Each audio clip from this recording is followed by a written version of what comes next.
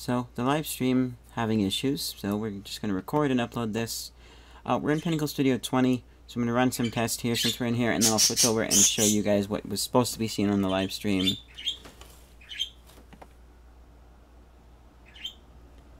So in this version of Studio 20, if I want to do, if I do this, and then I do this, and I do this.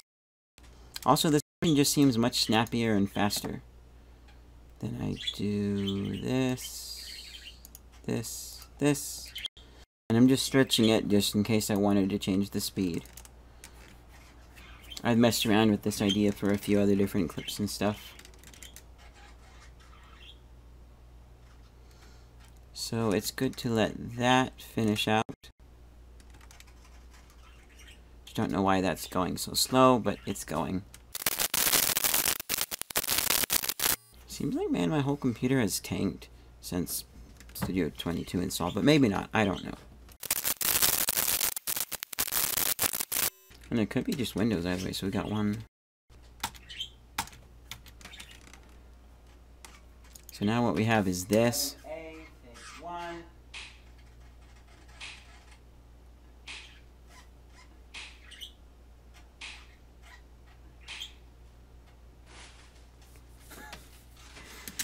So, yeah.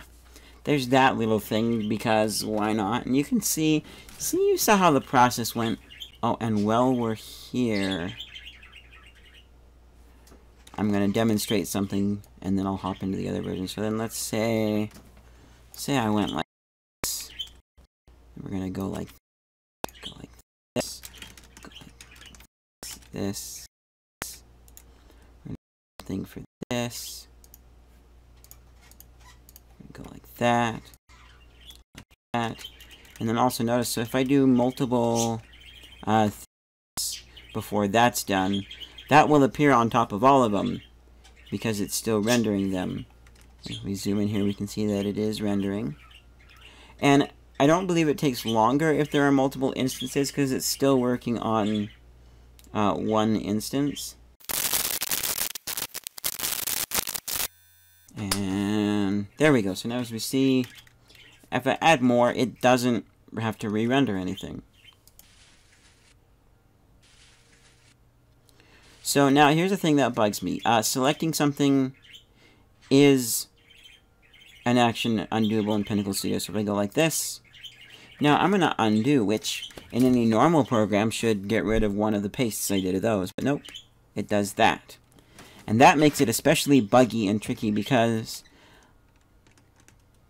let's say this is for example, let's say I did this and I did this and we're going to select this one here and we're going to say goodbye. We would just want this, but then oops, actually what I want is this and all of the changes that I've spent hours just making, example, with this at the end of it. So I'd go here in a normal program.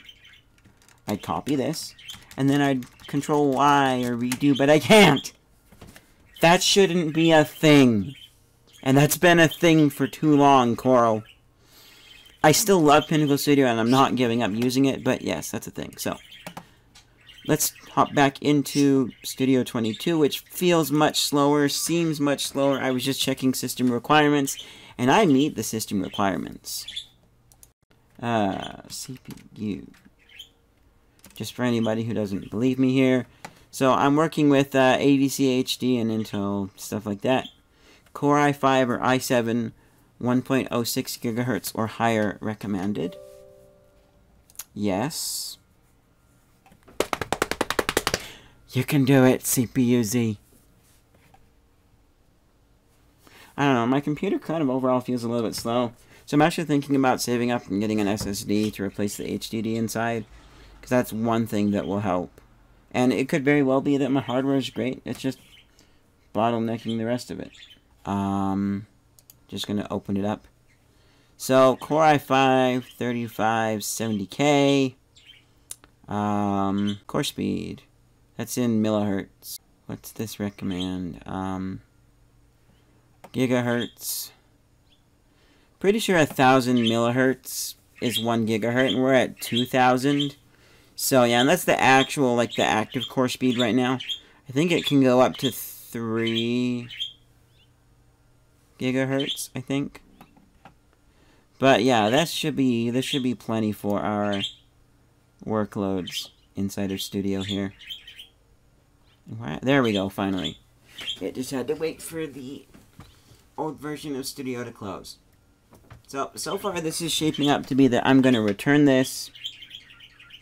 And then if I get any, um, if they release a patch or a fix like they have usually done.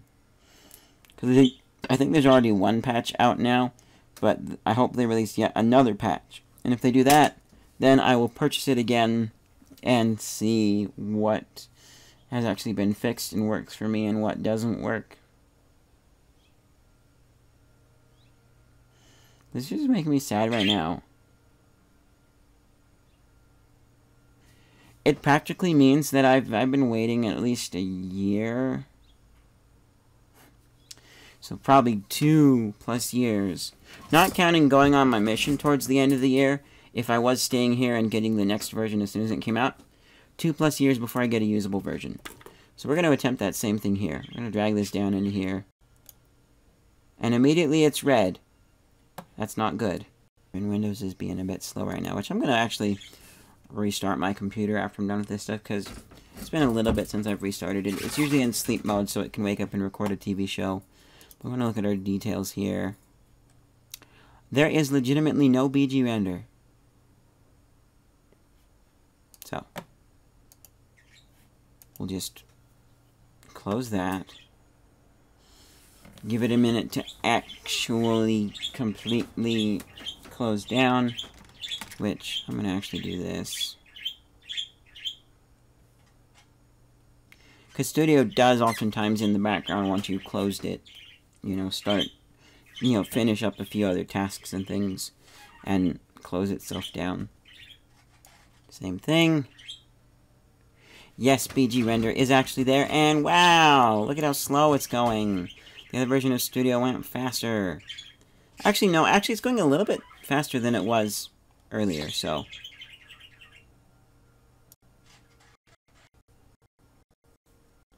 Forward. Oops. So there's one, here's the big thing that I don't like. If I do this, and if I do...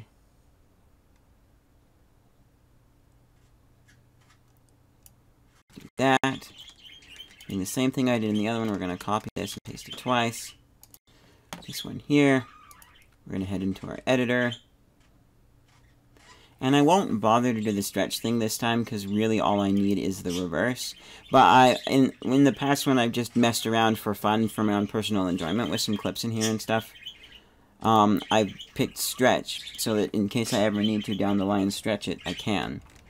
So we're going to do this here. Uh, see? The... Where did my marker go? I know where it went. It went there. And it's not supposed to. It's supposed to go here. That's, that's a problem. That's not supposed to happen that way. But it, it just did. And, you know, to make this go a little bit faster, we're going to get rid of this so that this has to render now, because I don't need the rest of that for this test.